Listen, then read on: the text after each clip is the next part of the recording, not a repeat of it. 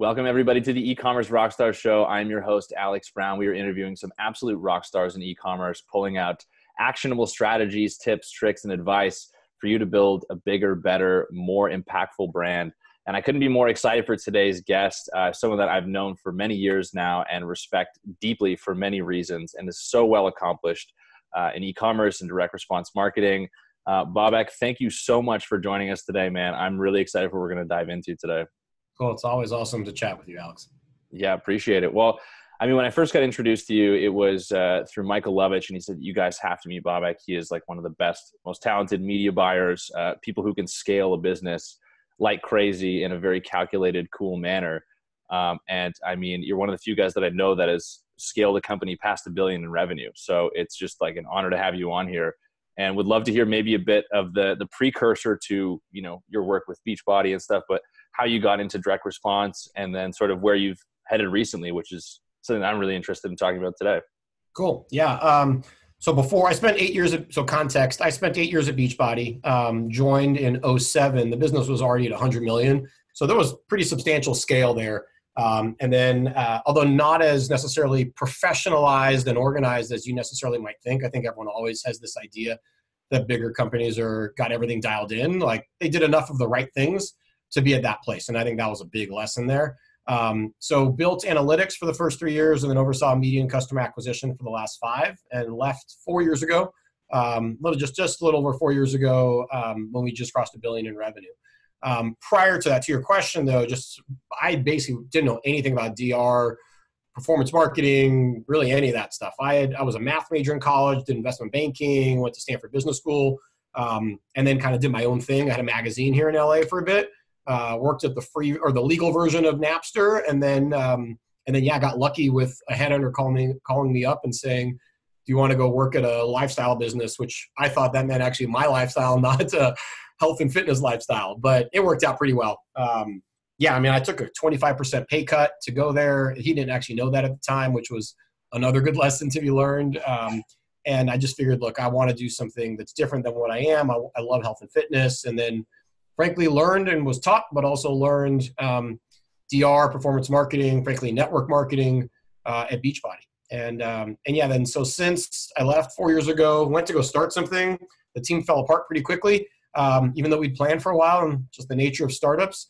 and then really started picking up clients. And so what I do now is generally I describe it as I work with performance marketers, helping them build their brands. And so both of those is important. Um, generally like the performance marketing i think people get but for me brand is are you paying attention to your customer and your product?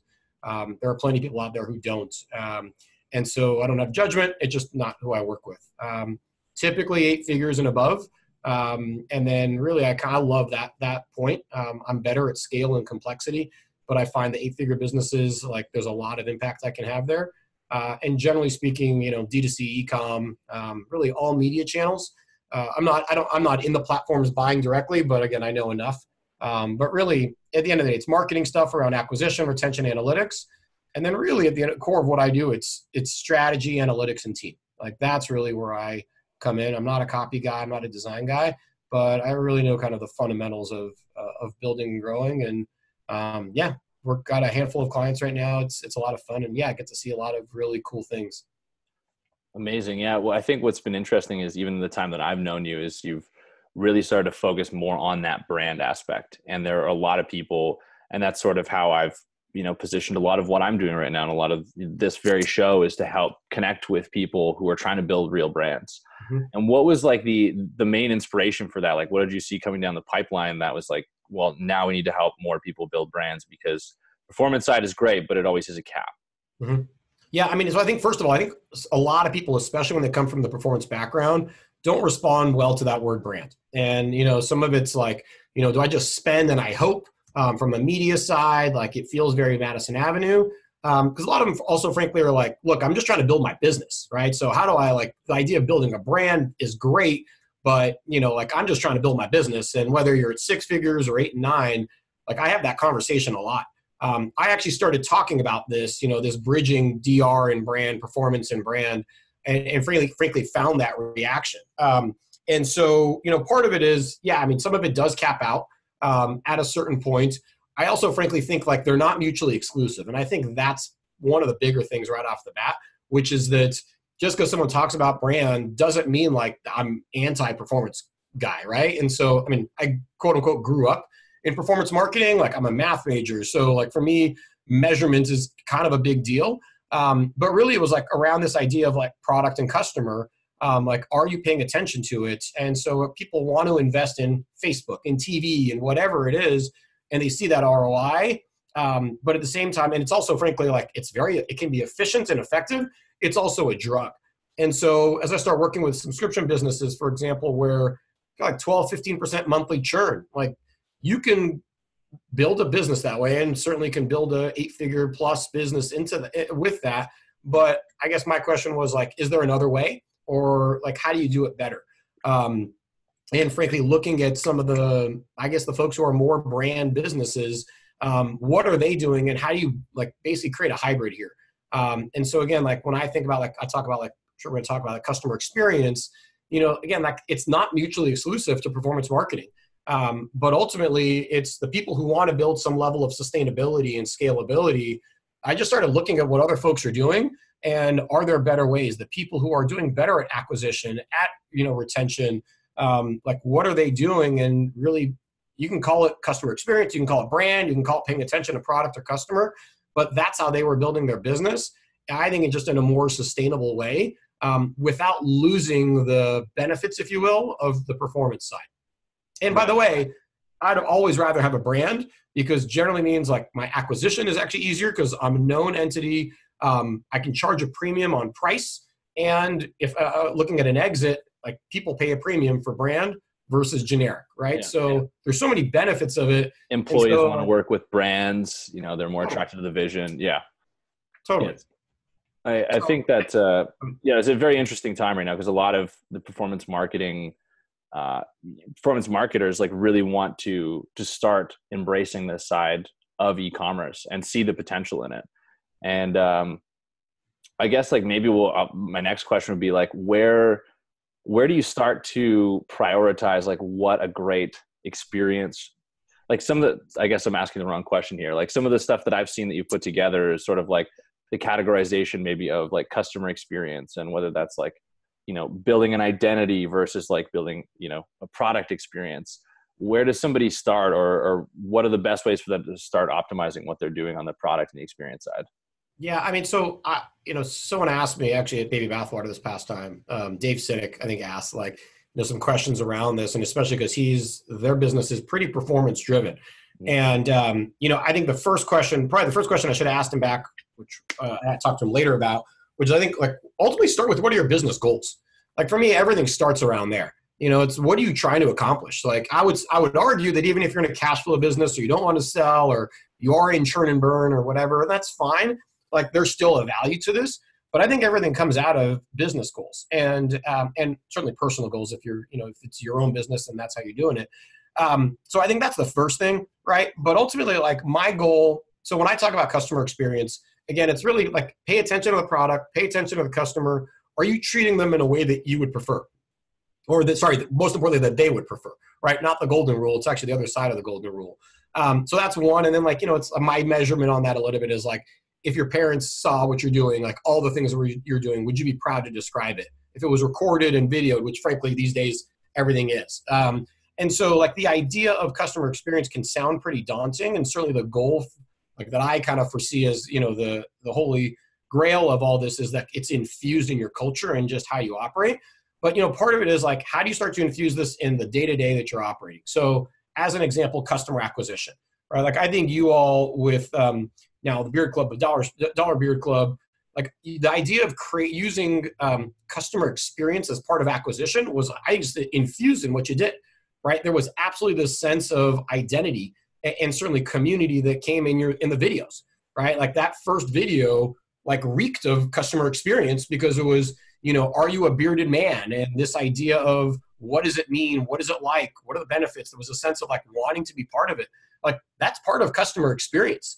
And yeah you could have gone with a different angle and i'm sure you guys probably threw out a bunch of different ideas but like sometimes like grounding you know i can talk about customer experience philosophically but like that's one way to ground it which is can you use the things that are let's say you're performance driven that you're doing day to day how do you just start to make it a little bit better? And you know, how do you start to test this stuff in a way that it's very tactical, which is like a video that is tapping into, let's say in that case, like identity and community.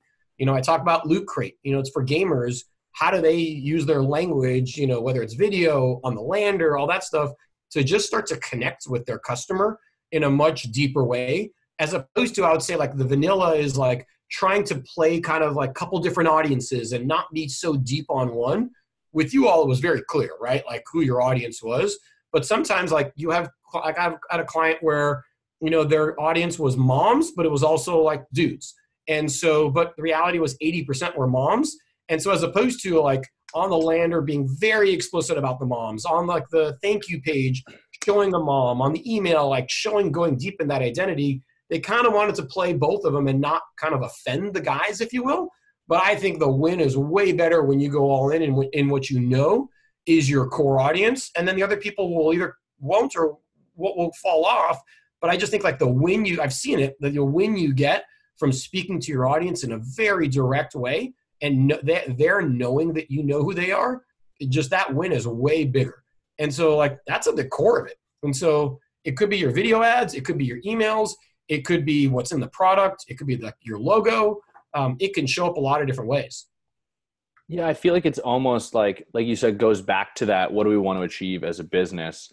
Um, and then you know it can be as uh, sort of like top level and not really theoretical, but um, like on a personality level through the acquisition that you're doing um, and setting people up. Hey, this is the identity of our customer. Then through to because I think a lot of people hyper focus on like packaging and the more tactile experiences of customer experience or like you know what's the delivery time? What's the packaging like?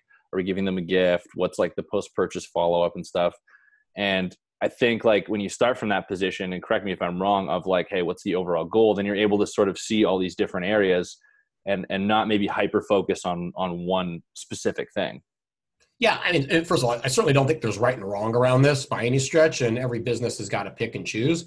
Um, I mean, I think again, the thing that's daunting is your brand gets built everywhere. So every touch point, like all that stuff, like it's. I think that's a very daunting part. But I like my approach is just like if how much are you actually does the word first of all brand come in your daily lexicon in the business, and whether it's a single a solopreneur or a big team, you know, but like brand, product, customer, like how often? And honestly, like as obvious as I think those words are, it is shocking to me, like certainly with my clients or friends, just how little sometimes it can come up. And I think so that's that's part of it is just make it part of the lexicon and then just start picking. I think like identity and community are hugely um, impactful if you can tap into that. I think most businesses can, but yeah, I mean, look, I think your acquisition side, all the things you just mentioned, like these are the parts where you want to make sure it is a great experience. Um, and by the way, I get that sometimes you can't execute the way you want tech, you don't have the money, whatever. That's like, I understand that, but you've got to start making sure like it's part of the conversation and part of what you're doing. Um, so again, it may be tactical like returns and refunds or account management. Like if you're a subscription business and you don't have like account management and you don't, I, like I'm a big fan and believer of order notification, of skipping, all that kind of functionality. I think that is part of customer experience because yeah, you may get an extra shipment or two out of a customer, but the brand impact and the word of mouth impact and the the feeling that a customer gets like i'm a i'm a believer that it's it's way worse. And i just look at the the language that people use i've used when that experience has been really poor.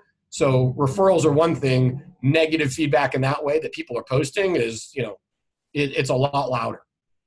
Yeah so, we totally experienced that too. And you know when we first started chatting was we were great at the acquisition side at that like hey here's our identity and people were all on board on that. They got it. Um, but then like you know we were limited by tech in terms of the like being able to manage subscriptions part. Uh, we were scared to email people because we were like oh maybe they'll cancel. And it, it took a bit of a step back and a mindset shift uh, to realize that we were actually screwing ourselves out of long-term profit by focusing on sort of the short-term profit. And we were creating these bad experiences that people were talking quite openly and loudly about um, in favor of trying to bring more people in the door and try and do what we were really good at.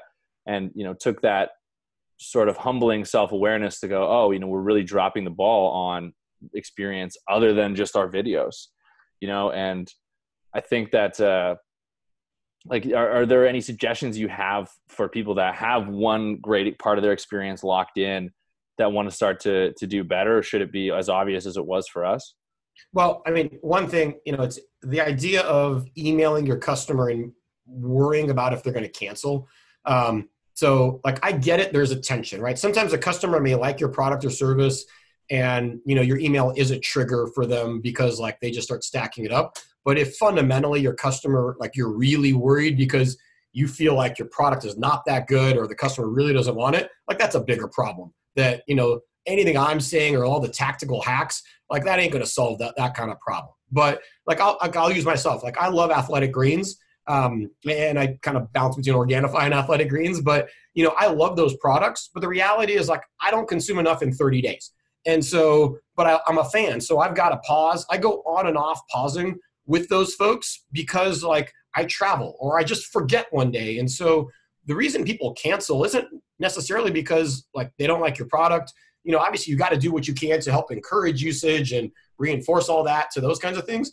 But you know, the reality is like sometimes people cancel because like they, they literally just got too much or they've forgotten or they've traveled. So I think you got to remind yourself as a as a marketer, um, you know, that you're not trying to sneak in, and but it's also like what are the things you can do to help people um, consume, and then also like if I've been paused, like maybe every couple weeks, you send me an email saying, hey man, you paused, like do you want to restart?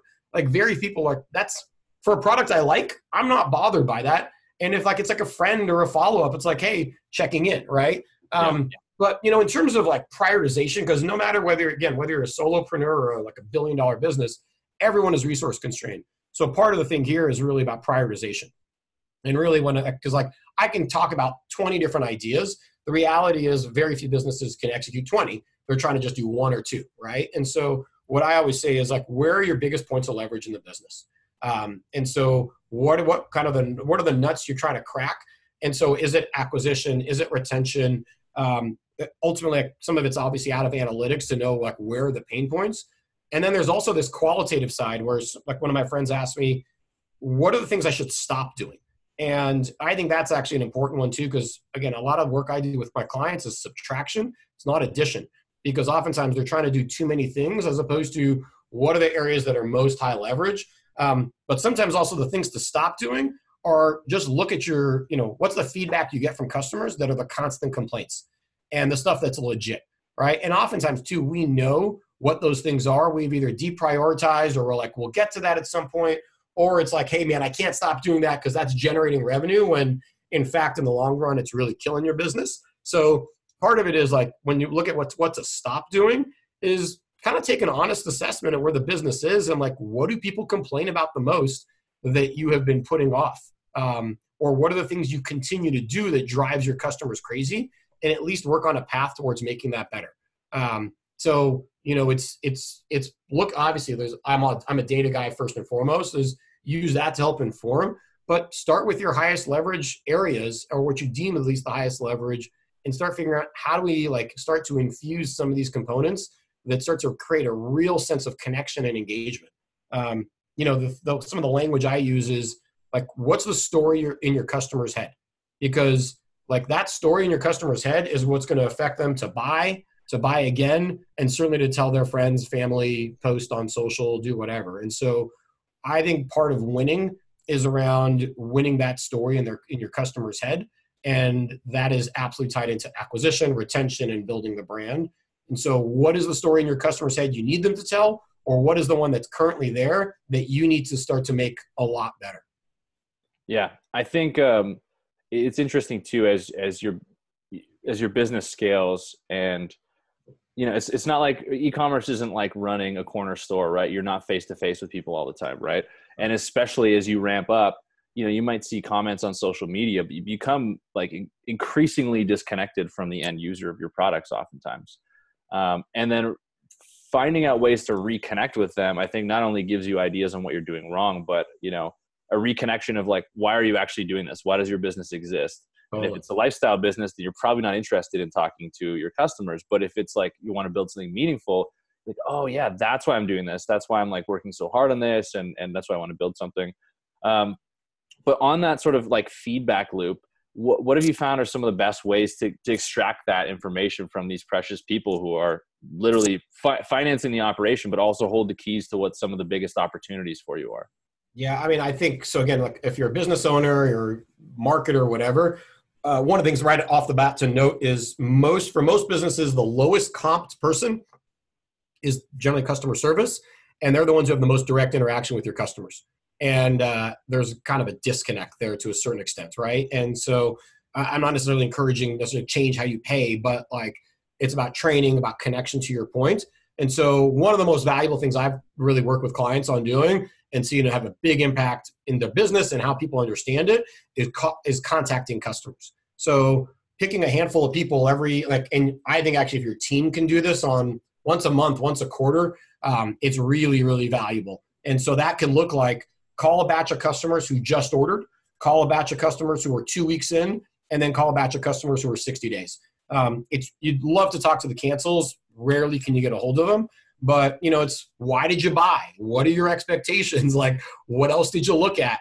Um, anything else we can do for you? Like how many businesses call a customer? And even from like people watching like how many times have you ever been contacted on the phone or like email just like some kind of that kind of thing that's not a survey? Um, you know as much as people don't want to pick up the phone like that's you know there's something there to talk to people and then you know two weeks in 60 days in 30 whatever there's no perfect rule on this but after people have had enough time to use the product, how is it matching your expectations?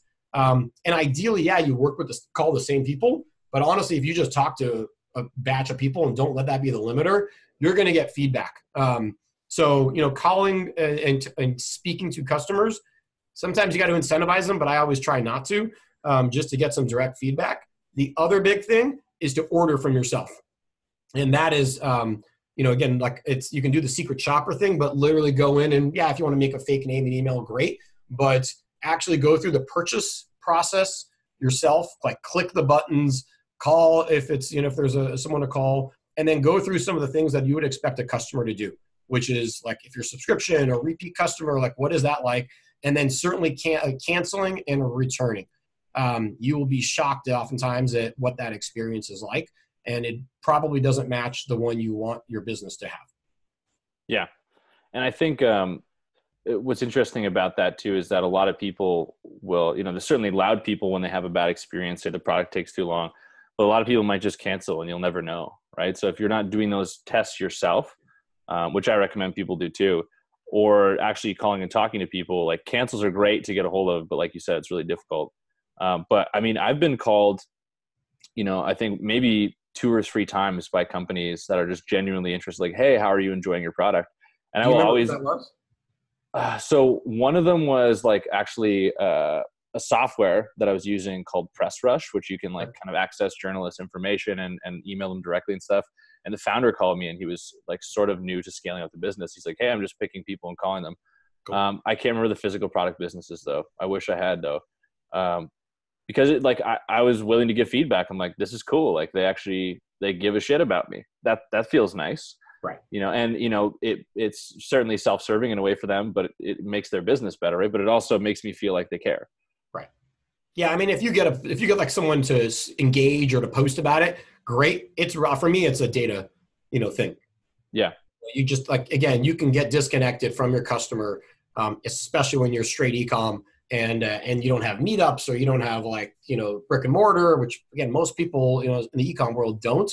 Um, yeah i mean you're just i think you're like and it's also it's easy to respond to what's on facebook or wherever in your reviews but again like a dynamic conversation with a customer like that is that is gold. And like you spend an hour a week an hour a month i guarantee you're going to discover a few things that you didn't know about your business that um, but and positive and negative, by the way. And so that's part of the thing. It's like I'm not looking. We always focus on the critical side, but it may be, hey, this is a part of the business or a product or feature or whatever it is that we didn't realize was just as important as it is, and maybe we've got to reinforce that even more. Um, so it could be addition, it could be subtract, it could be any of that stuff, right? So, um, but just getting that feedback from the customer in a very real way, and then honestly, like honest, uh, ordering your own customer, ordering your own product.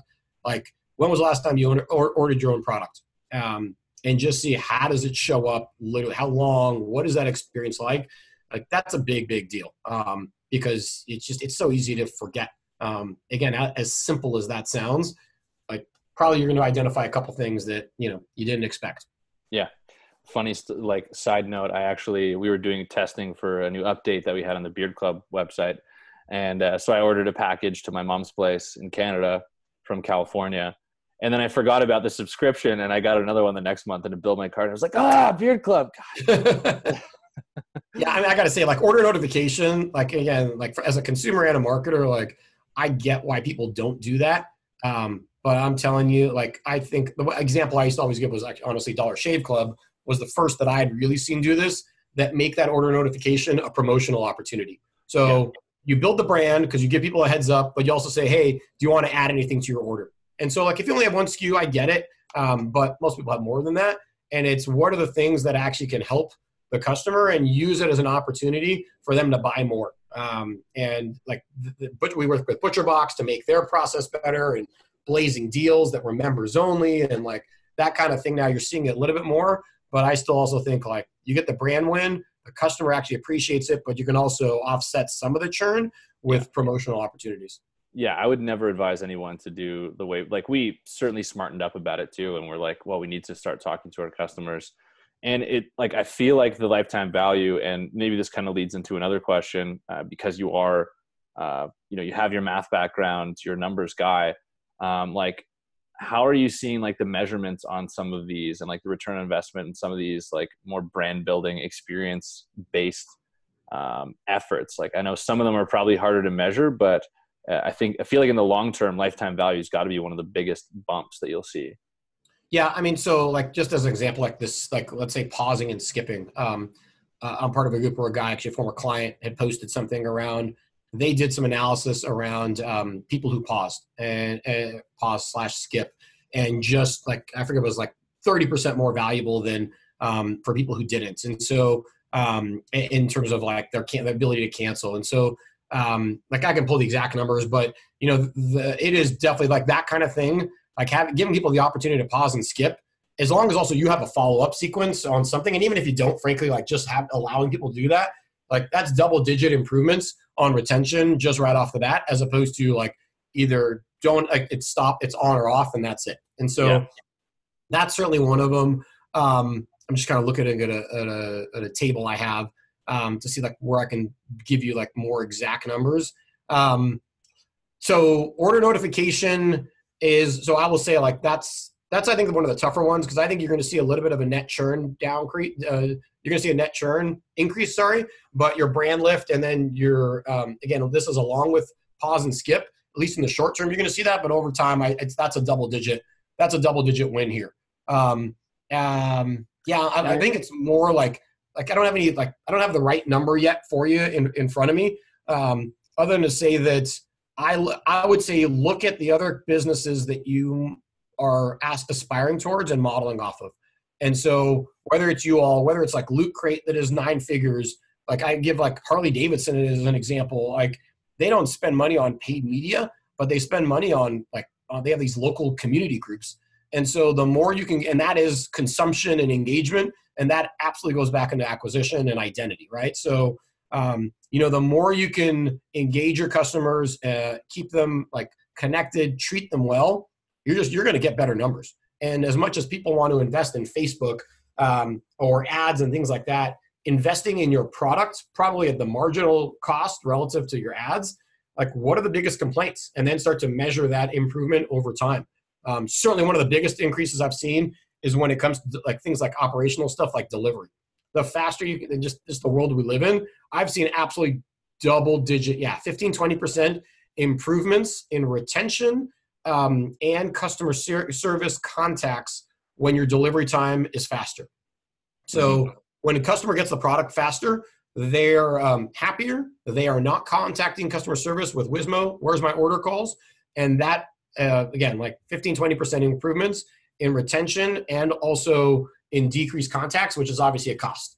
Um, so like that's that's an operational one. And then look, the reality of um, like things like identity and community, you know, part of that comes into like a, let's say a Facebook video ad. You know, in general, I've seen that the ones that are that are having some sort of connection um, relative to like a static ad or something that doesn't tap into that um, you know, just just works better.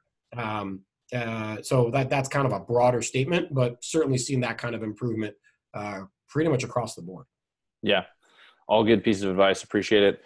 Um, so I like to kind of end off uh, our interviews with something on a you know more personal level, and I've seen you perform at a very high level. Seen you go to lots of events. You've got obviously clients. You now have a business uh, with your wife that you're helping with. You have a family. Um, what are some of the things that you do to, to to keep just going so hard and accomplishing so much? Uh, uh, you know, I think first off, like the reason I do what I do or anything I do, um, you know, I'm obviously personally driven, but with a family, like I think that's, you know, that's when people say like, you know, what's your why? Like I think that's where it comes from, right? And so my why is my family. You know, my wife, uh, we have two sons. Uh, we're trying for number three. Um, you know, I'm fortunate that I'm five houses down from one of my sisters, and my parents and my other sister a couple miles away. So that's what drives me. Um, I think it's easy to just talking to someone literally two, three hours ago about um, it's easy to get very caught up in that, and it feels like each year gets busier.